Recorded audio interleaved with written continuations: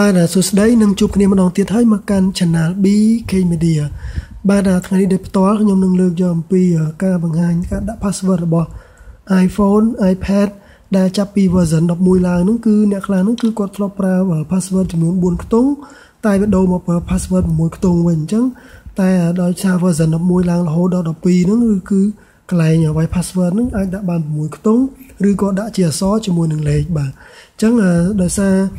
ការដាក់ហ្នឹងគឺមានលក្ខណៈផ្សេងផ្សេងគ្នាអ្នកខ្លះគាត់ចូលចិត្តបែបណាបែបណាហ្នឹងគឺខ្ញុំសូម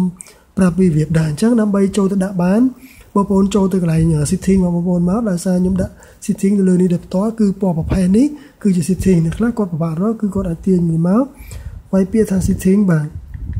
បាទនេះគឺ setting load មកគឺដូចដូចសុំទោសខ្ញុំបាទចំ ING បាទហ្នឹង setting នេះគឺដូច្នេះបាទអញ្ចឹងបងប្អូនចូលនេះមកឬក៏បងប្អូនអាចចូលនៅ setting នេះផ្ទាល់ក៏វាលោតមកដែរអញ្ចឹងបងប្អូនទាញវារកកន្លែងពាក្យថា touch ID and passcode បាទអញ្ចឹង touch ID and passcode ហ្នឹងគឺមាន logo ដូច scan នៅដៃក្រហមដូច្នេះយើងចូលនឹង pass ID មកនេះគឺជាកន្លែងបើកដែលពេលយើង unlock ប្រើជាមួយ iTunes ហើយយើងប្រើជាមួយ Apple Pay ឬប្រើ password auto fill ហ្នឹងបាទអញ្ចឹងអានេះគឺជាម្រាមដែលខ្ញុំបានដាក់នេះគឺ5%ហើយចឹងបងប្អូនតដាក់ទៅគឺចុច add add print fingerprint នេះមកបាទអញ្ចឹងដើម្បីដាក់ password មកបងប្អូនទាញរកកន្លែងពាក្យថា turn passcode on ពណ៌ពណ៌ខៀវដូចនេះអញ្ចឹងបើសិនខ្ញុំចុចមកដោយសារខ្ញុំមានម្រាមដៃគឺវាទុកខ្ញុំសុំ keep បាទអញ្ចឹងវានឹង load នេះបាទ6ខ្ទង់ដូចខ្ញុំនិយាយអញ្ចឹងគឺ password by default factory បានន័យថាក្រុមហ៊ុននោះពីរោងចក្រមកគឺតម្រូវ password ហ្នឹងគឺ6ខ្ទង់បាទជាលេខ6ខ្ទង់ប៉ុន្តែបើសិនជាយើងចង់ដូរបាទយើងចូលចិត្តទេយើងចង់ប្រើ6ខ្ទង់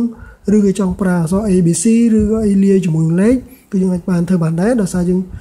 មានកន្លែង option នេះគឺ option វាថា passcode option ពេលពេលបងប្អូនចុចមកវានឹង load បាទនេះយើង customize បាទន័យថាយើងប្រើអក្សរជាមួយលេខកន្លែងនេះយើងប្រើអក្សរជាមួយលេខគ្នានេះកន្លែងនេះគឺ4 digit បាទ4 digit numeric code បើនេះបងប្អូនចុចមកគឺវានឹងដូរទៅលេខ4ខ្ទង់ទេបាទនេះគឺយើងវាយកូដហ្នឹងគឺតែ4ខ្ទង់ទេបាទបើសិនបងប្អូនណាដូរមកកន្លែងនេះវិញគឺយើងដូរមក6ខ្ទង់បាទជាលេខ6ខ្ទង់អត់មែនជាអក្សរទេប៉ុន្តែបើយើងដូរកន្លែង customize alphabetic បាទកូដនេះគឺ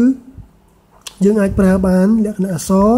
លាយជាមួយលេខបានបាទយើងស្រឡាញ់យើងពេញចិត្តហ្នឹងបាទអញ្ចឹងខ្ញុំសូមបង្ហាញពីរបៀបដូរមកកាន់4ខ្ទង់ហ្នឹងគឺយើងចុចនេះគឺ4 digit នេះបាទអញ្ចឹងយើងចុចលេខ4នេះមកគឺ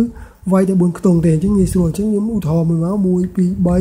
1 2 3 4បាទអញ្ចឹងខ្ញុំវាយ4ខ្ទង់អញ្ចឹងខ្ញុំយូរនេះខ្ញុំយូរ anyway មកអញ្ចឹងគេឲ្យយើងវាយនឹងលេខលេខកូដយើងដាក់ហ្នឹងគឺម្ដងទៀតដើម្បីឲ្យយើងចាំបាទអញ្ចឹងខ្ញុំសូមវាយ1 2 3 4បាទអញ្ចឹងអាលេខ password ដំបូងនិងអាបន្តមកទៀតគឺវាយឲ្យដូចគ្នាឲ្យចាំបាទនឹងសួរចាំអញ្ចឹងខ្ញុំបានដាក់ password ឲ្យខ្ញុំបិទខ្ញុំបើកវិញបាទគឺខ្ញុំជាប់ password 4ខ្ទង់នេះបាទ load 4ខ្ទង់នេះទេគឺខ្ញុំទៅវាយ1 2 3 4បាទអញ្ចឹងវានឹងបើកហើយចំពោះការដូរមកកាន់6 password វិញបងប្អូនអាចចូលនឹងមកបាទ1 4បងប្អូនចូលមកកន្លែងអឺ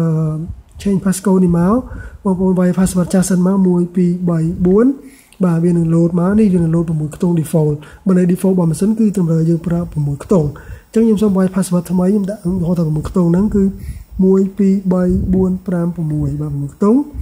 ខ្ញុំយូរ anyway អញ្ចឹងគេឲ្យយើងវាយភាសាទៀត6ខ្ទង់ឲ្យយើងយើងចាំ1 2 3 4 5 6បា